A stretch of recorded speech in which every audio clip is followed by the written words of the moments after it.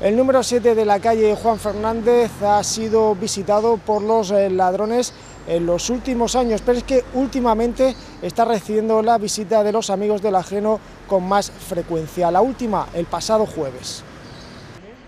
Entraron a plena luz del día, no forzaron la cerradura y asaltaron la casa de esta vecina de la calle Juan Fernández. Y desvalijaron pues absolutamente la casa, se llevaron todas las joyas, un dinero que tenía preparado pues para unas compras.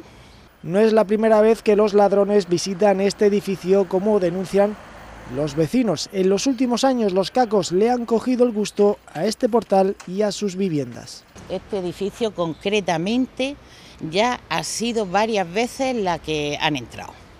Entonces, ¿qué quiere que les diga? Abajo, en el garaje donde están los coches, a mí concretamente hace unos años también se me llevaron el coche.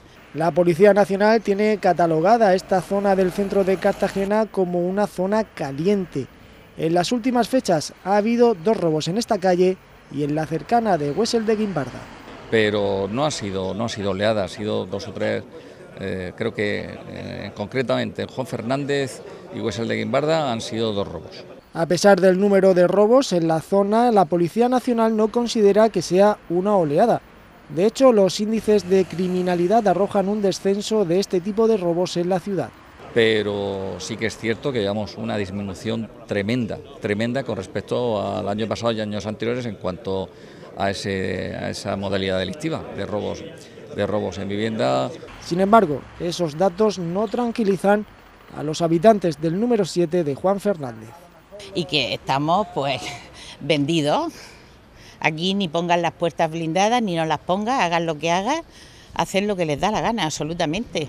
La policía recomienda vigilar los portales y puertas de las viviendas ante cualquier marca o elemento sospechoso como puedan ser papeles, filamentos de silicona o pegamento y sobre todo, ante la más mínima sospecha, deben de llamarnos. Eh, a la más mínima duda, llámenos, que es que nosotros lo preferimos que nos llamen, y sea a la hora que sea.